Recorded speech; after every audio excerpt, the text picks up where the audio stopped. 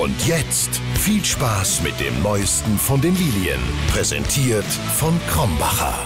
Gut und hallo zum ersten Mediengespräch 2024 anlässlich unseres ja auch ersten Pflichtspiels. Ähm, morgen wir treten das erste Mal in die Saison am Samstagabend an, 18.30 Uhr. Gegner ist kein geringer als Borussia Dortmund.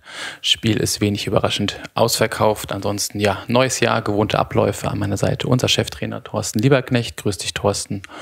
Und dann würde ich sagen, gehen wir rein in die Fragerunde. Stefan Köhlen, Kicker und die im Block beginnt. Und danach Jan Felber, Darmstädter Echo. Ja, hi Thorsten. Ähm, Standardfrage wie immer, wie sieht es personell aus? Sie hatte ja ein paar Verletzte, Vorbereitung war ja auch etwas äh, teilweise ausgedünnt, die Mannschaft. Wie sieht es im Moment aus? Ja, also ich kann, ich habe einen kleinen Zettel gemacht. Ähm, wer definitiv ausfällt, ist Braden, äh, Fraser Hornby, Marvin Melem, Aaron Seidel, ähm, Nürnberger und Matthias Honsack. Die werden definitiv ausfallen. Dann hat man ja ein paar Jungs, die ähm, aus längeren Verletzungssituationen oder Krankheitssituationen jetzt wieder zurückgekehrt sind. Die haben aber teilweise, wie gesagt, das Training absolvieren können. Ähm, und äh, stellen definitiv eine Alternative für den Kader dar. Ähm, dass die nicht bei 100% Fitness sein können, das ist, äh, glaube ich, ähm, normal, liegt in der Sache der Natur, weil, wie gesagt, einige Jungs eben lange weg waren. Christoph Zimmermann, der trotzdem jetzt auch wieder trainiert hat, aber im Trainingslager eben halt auch äh, ausgefallen ist äh, mit dem grippalen Infekt, äh, nachdem er eben lange ausgefallen ist mit seiner äh, Risswunde. Er ist auch wieder dabei und wird ähm, wenn nichts passiert, morgen definitiv eben halt auch im Kader drin stehen. Oskar Wilhelmsson genauso, Fabi Holland. Das waren ja diejenigen, die, wie gesagt, ähm, aus diesen Verletzungen oder Krankheiten zurückgekommen sind. Dann gehen wir weiter zu Jan Färber, Darmstädter Echo. Kollege kann auch weitermachen, ist kein Problem. Ähm, wenn du nochmal auf die Tage zurückblickst, wir hatten ja auch nochmal kurz gesprochen in Oliva Nova mit ein paar Tagen Abstand nochmal um das Trainingslagerrevue passieren lassen. Du hast ja so ein paar Leute, hatten ja auch immer mal wieder gefehlt musstest viel improvisieren, hast du ja auch erzählt. Ähm, nichtsdestotrotz war es ja, glaube ich, schon eine sinnvolle Sache. Ähm, diese Wiederkehr nach Darmstadt war natürlich eine sehr, sehr kalte Angelegenheit, tippe ich mal, aber das werdet ihr verkraftet haben, tippe ich mal. Nee, ich glaube, dass äh, also grundsätzlich erstmal die Entscheidung, ähm, dorthin zu fliegen, äh, sofort hinzufliegen, war wirklich eine, eine gute Entscheidung. Äh, und es war auch eine gute Entscheidung, dass wir den Zeitraum so gewählt haben, dass wir relativ schnell uns dann auch hier wieder in den äh, kalten Gefilden uns äh, auf, ja, aufhielten um, und aufhalten, um eben halt auch direkt wieder ähm, sich an die, an die Temperaturen das Ganze zu gewöhnen. Ähm, deswegen haben wir, glaube ich, was das angeht, eine gute Planung ähm, hinter uns und äh, dementsprechend auch in der Woche, wie ich finde, eben auch sehr, sehr ordentlich trainiert und das äh, ja so so beenden können, dass wir sagen, all das, was wir jetzt äh, geplant hatten, Trainingslager und jetzt eben die frühzeitige Rückkehr oder die rechtzeitige Rückkehr, war passend. Bastian Gerling, Hessischer Rundfunk. Hallo Herr Lieberknecht, ähm, zumindest der Ansetzung nach wird es am Samstag das Topspiel der Bundesliga, das erst zum, ersten, zum zweiten Mal in der Geschichte des Vereins. Ähm, was muss Ihre Mannschaft machen, dass man das auch auf dem Platz sieht?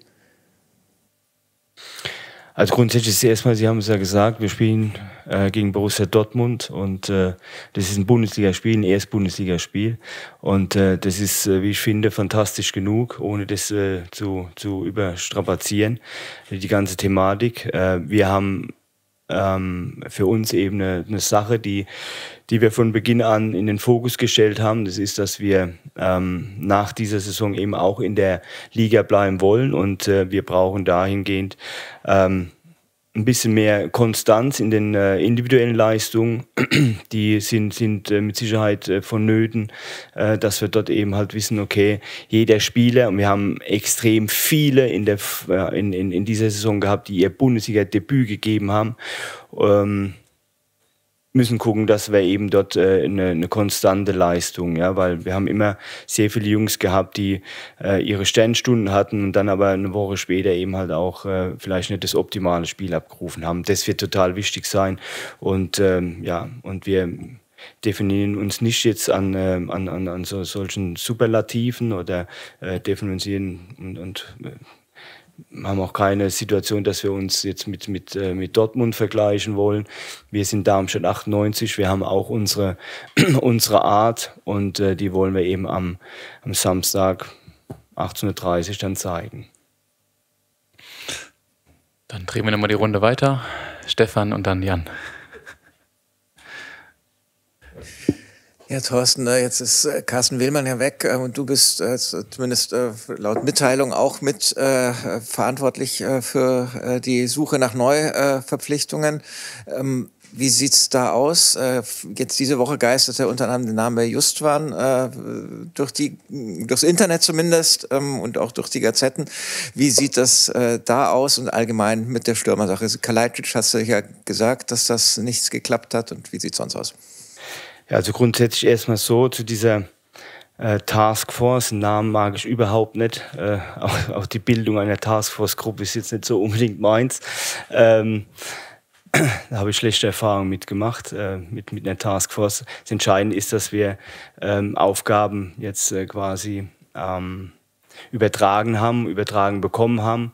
Und äh, da ist jetzt äh, letztendlich so, dass der Tom Eilers dahingehend diese sogenannte Taskforce führt und wir eben im, äh, im Team, jeder für seinen Bereich, ich bin immer noch der, der Cheftrainer, ähm, jeder für seinen Bereich eben dort mithilft, dass wir den einen oder anderen Transfer ähm, an Land ziehen. Und ähm, ja, und da ist eben äh, Tom, ähm, Michael Stegmeier, die Scouting-Abteilung mit den Jungs, die, die da sind und meine Person eben im, in, dieser, in dieser verantwortlichen Position, dass wir da ähm, im Team das eben ähm, ja, so gut machen, dass wir wissen, okay, wir können den anderen Transfer nochmal noch mal stemmen. Und da sind wir auf der, auf der Suche. Wir haben ähm, ein paar Jungs eben halt auch äh, ähm, rauskristallisiert, zumindest erstmal auch die Positionen, die uns wichtig sind. Die eine Position, ähm, die war dann namentlich eben äh, mit einem großen Stürmer in Verbindung gebracht worden, was auch zu Recht ist.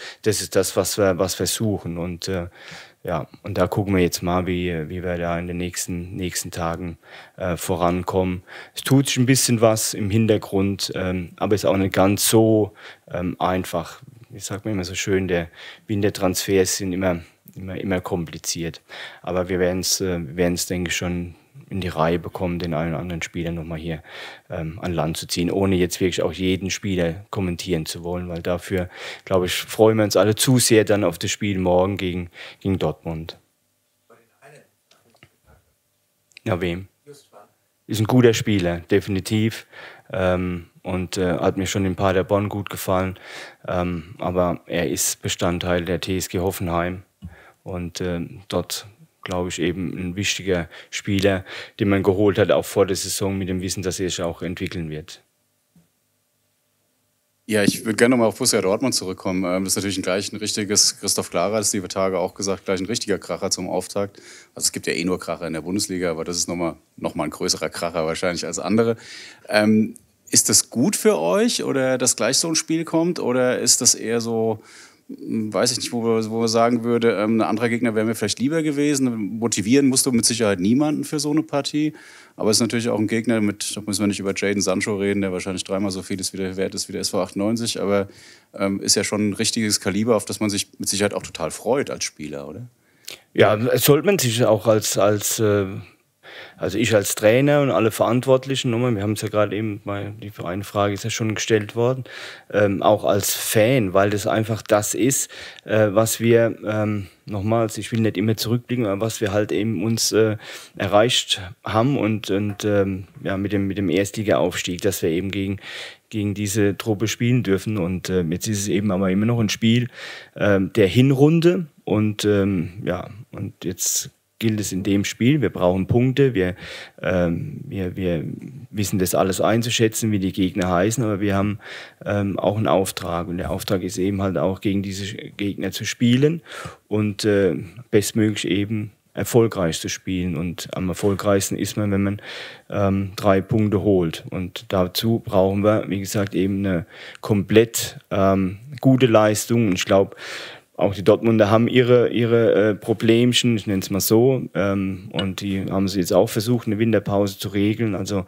ähm, zwei Mannschaften, die jetzt erstmal auch äh, für sich versuchen, in die Spur äh, zu kommen. Wir haben mit Hoffenheim, wie ich finde, äh, einen guten Ausklang gefunden und ähm, wollen eben auch daran versuchen anzuknüpfen, wohl wissend, dass wir auch dort Fehler gemacht haben.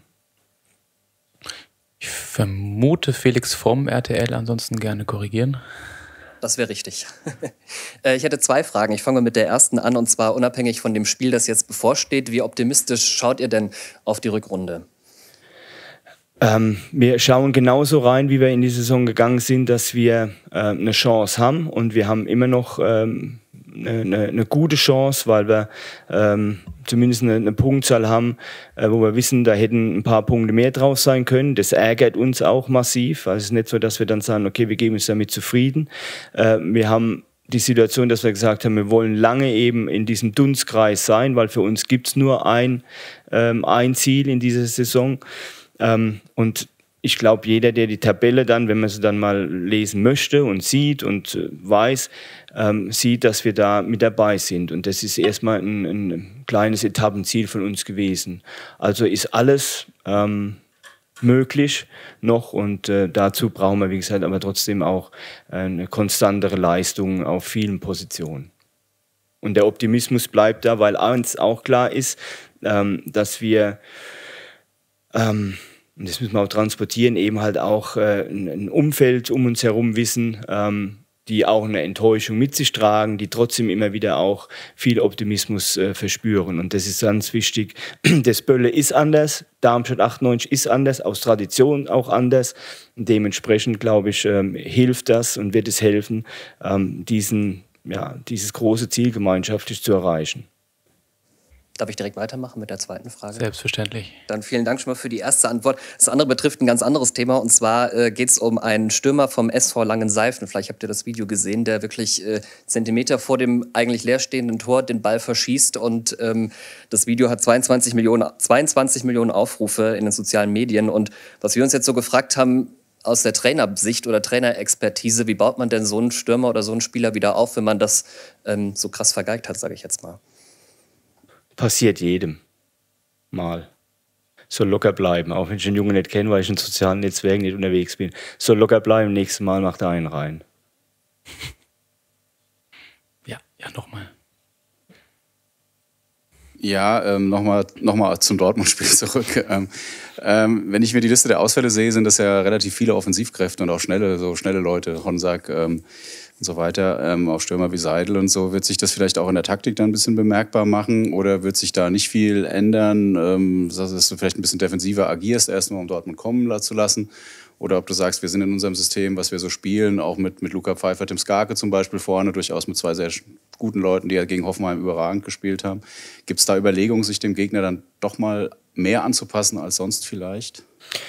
Ähm, Fakt ist, dass es natürlich jetzt gerade begrenzt ist, die Auswahlmöglichkeit äh, im, im vorderen Bereich, aber trotzdem ähm, haben, wir, haben wir auch immer Ideen, wie wir was äh, mit Ball und gegen Ball machen wollen. Ähm, Hoffenheim hat es äh, ganz gut aufgezeigt, äh, dass wir da an dem Tag wirklich eine, ähm, eine gute Struktur hatten und die Jungs in andere Positionierung gebracht haben. Für mich ist eigentlich äh, dieser Vorderbereich dadurch, dass er so ein bisschen dezimiert ist und, und ähm, ähm, die Auswahl begrenzt ist, ähm, ist eher die Frage, ähm, was, was passiert äh, in den Abteilungen dahinter, äh, weil da liegt tatsächlich so die, die Qual der Wahl. Da sind alle fit und ähm, ähm, und das wird, wird, ist eher so die, die, die treibende Frage, die mich jetzt gerade eben um, ähm, ja, um, um, um die Nächte bringt. Wer ist denn jetzt derjenige, der dort hinten die Konstanz eben reinbringen soll?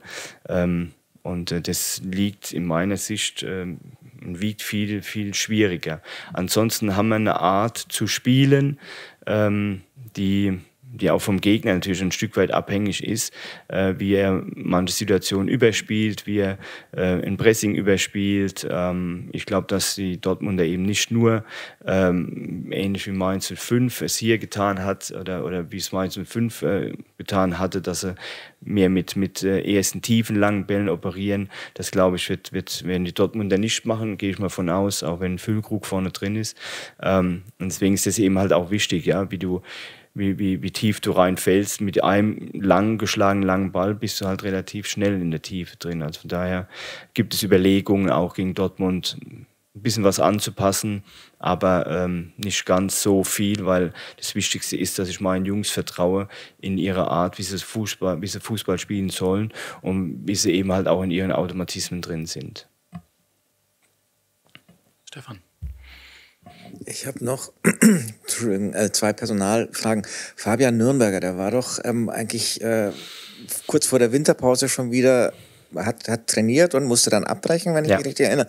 Und äh, dann hat sich das, ist das noch immer die gleiche Verletzung ja. und ist das so schwerwiegend? Müssen wir uns Sorgen machen, dass das noch weiter länger dauert oder ah. Sprunggelenk? Ja, es war Sprunggelenksverletzung und es war tatsächlich so, dass äh, er dann beim ersten Training komplett, also nachdem er alles äh, vorher äh, absolviert hatte in der, in der Reha-Phase, dass er dann im ersten Training mit einem, äh, mit einem Schuss fast auch so leicht wieder im Rasen hängen geblieben ist und dann ist die Verletzung wieder aufgebrochen. Ähm, jetzt in dieser Woche ist er tatsächlich auf dem Platz gewesen äh, und ist auch äh, mit einem ja, mit einem Lächeln im Gesicht dann vom Platz runter, weil er das erste Mal seit langer, langer Zeit einfach wieder gespürt hat, dass er keinen Schmerz mehr hatte.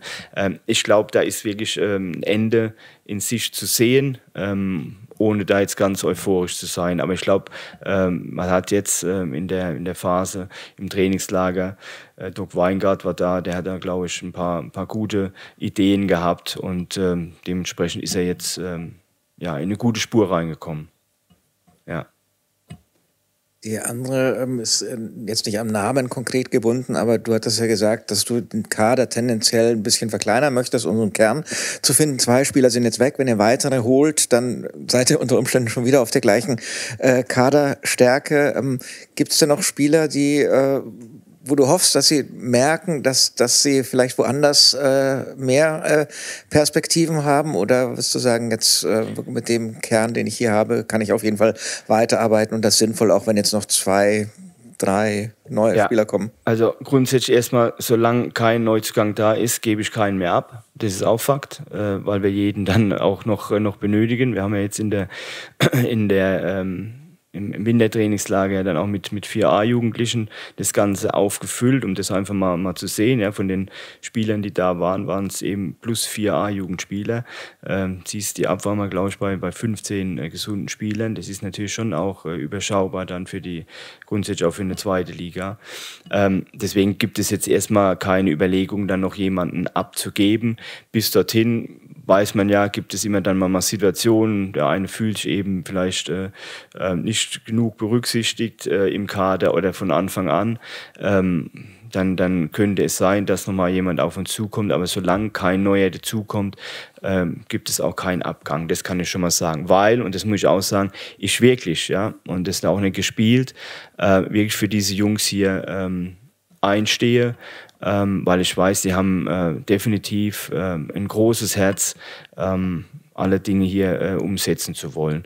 Und ähm, ja, und deswegen ist das Vertrauen auch groß in die Jungs. Aber trotzdem weiß jeder halt auch, ich kann nur elf aufstellen. Momentan ist die Kadersituation so, dass wir da jetzt nicht groß Kopfzerbrechen haben werden, wenn wir den Kader, sondern eher Daumen drücken, dass nicht über Nacht jemand dazukommt, dass wir ähm, die Jungs von der A-Jugend äh, mit hochnehmen müssen. Wobei ich sage, ein, zwei haben mir da richtig gut gefallen.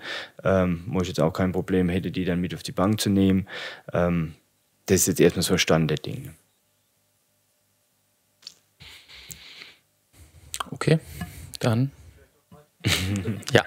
Letzte Frage. Wenn wir, wenn wir bei den Verletzten sind, bei den, bei den anderen noch, ähm, also Marvin Melem trainiert ja wieder äh, jetzt äh, alleine zumindest. Ähm, das wird jetzt vermutlich nicht noch unendlich lange dauern, aber wie sieht es bei Braden Manu und, und äh, Fraser Hornby aus, die ja auch jetzt nicht zu sehen waren in letzter ja, Zeit? Ja, Fraser wird, wird, äh, wird kein Thema mehr sein diese Saison.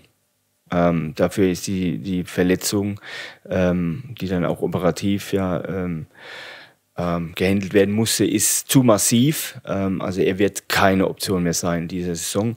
Und bei Braden ist es auch ein, ein Tappen im, im Dunkeln. Er ist jetzt, äh, war, war ähm, eine ärztliche Untersuchung, war dann in Hamburg, ähm, gab es nicht die großen Fortschritte. Jetzt ist er wieder zurückgekommen ähm, und ähm, da geht es jetzt eben darum, ähm, er ist jetzt in Schweinfurt im Reha-Zentrum, äh, um da gezielt nochmal so zwei Wochen ähm, ja, alles dran zu legen, dass er eben, und das wird das nächste Ziel sein, ohne OP, das war auch sein Gedanke, er wollte ohne OP die, die Verletzung auskurieren.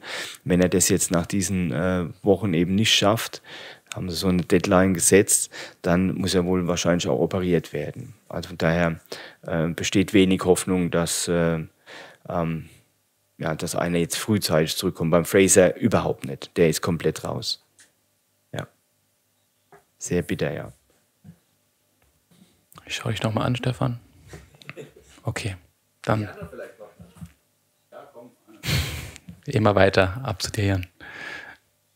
Bei diesen ganzen Voraussetzungen, was macht dich denn äh, so optimistisch, dass morgen Abend bei Flutlicht, Topspiel, wie auch immer man das definiert, dann morgen Abend, dass da jetzt ordentlich Feuer unterm Dach ist und ordentlich am Ende vielleicht sogar was bei rumkommt?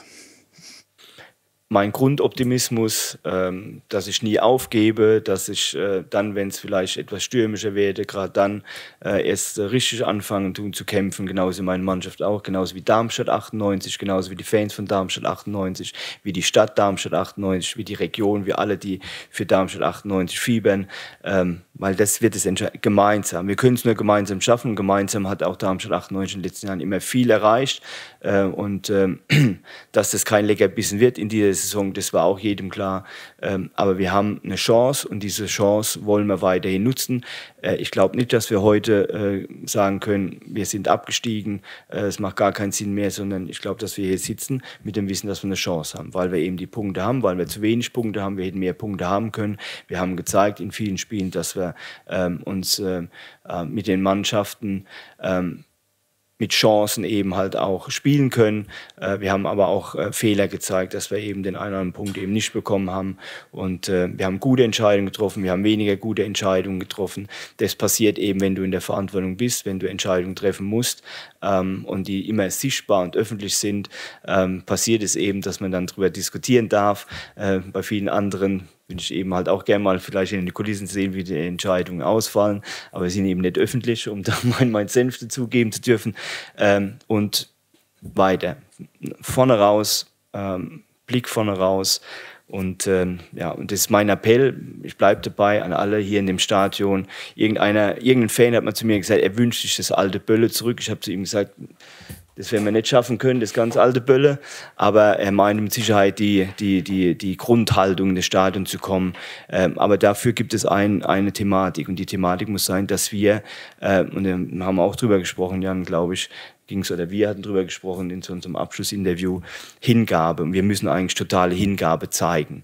Und äh, das ist schon, ja, das, das glaube ich, das, dem sind wir uns bewusst, dass die Leute das spüren sollen.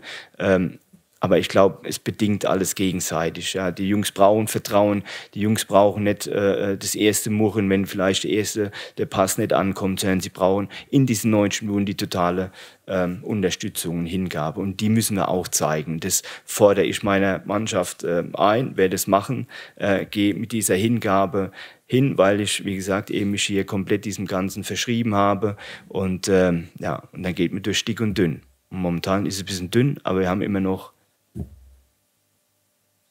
die Möglichkeit, was Dickeres draus zu machen. Ich habe keine andere Metapher jetzt. Trotzdem gibt, glaube ich, kann man dem, glaube ich, nicht viel hinzuzufügen. Danke für euer Kommen. Bis morgen Abend. Ciao. Das war's mit dem Neuesten von den Lilien. Präsentiert von Krombacher.